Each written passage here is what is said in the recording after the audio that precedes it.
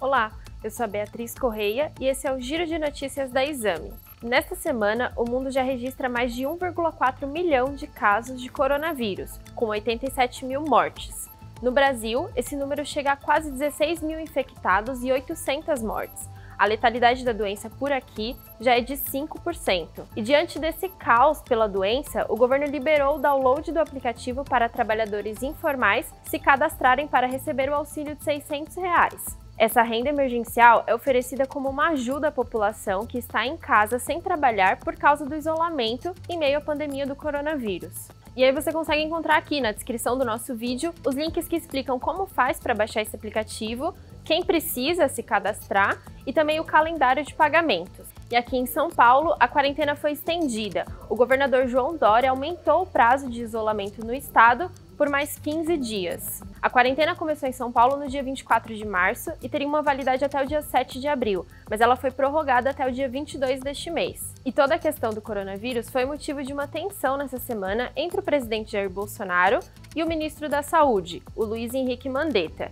Nesse meio tempo foi falada até uma possibilidade de o presidente demitir o ministro, mas depois o Mandetta anunciou em uma entrevista coletiva que ele vai continuar a chefiar a pasta da saúde para tentar enfrentar o nosso inimigo comum, que é o coronavírus.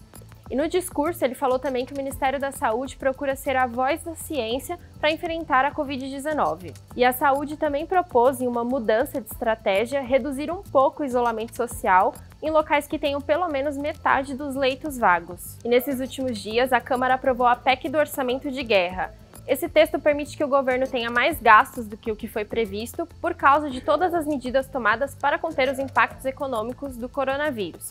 E essa proposta ainda precisa ser aprovada pelo Senado para poder valer. E o primeiro-ministro do Reino Unido, Boris Johnson, que está com coronavírus, teve uma piora no seu quadro de saúde durante essa semana e ele foi transferido para a UTI.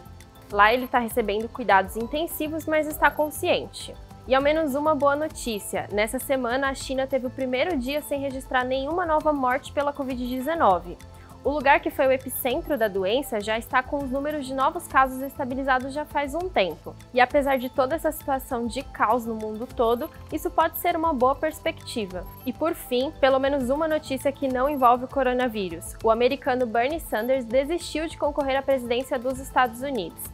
Ele já estava numa situação considerada bastante complicada e praticamente irreversível na disputa pela vaga do Partido Democrata. E a saída de Sanders abre o caminho para Joe Biden enfrentar o atual presidente Donald Trump nas urnas.